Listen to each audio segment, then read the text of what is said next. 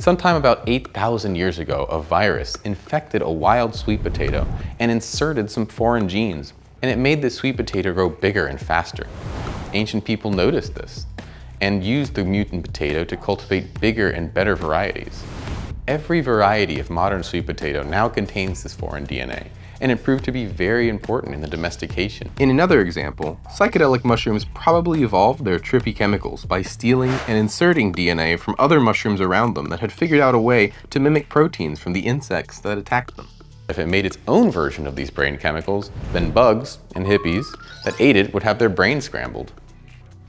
But you actually don't even need to go that far to see examples of genetic engineering. Actually, you yourself are already heavily genetic engineered.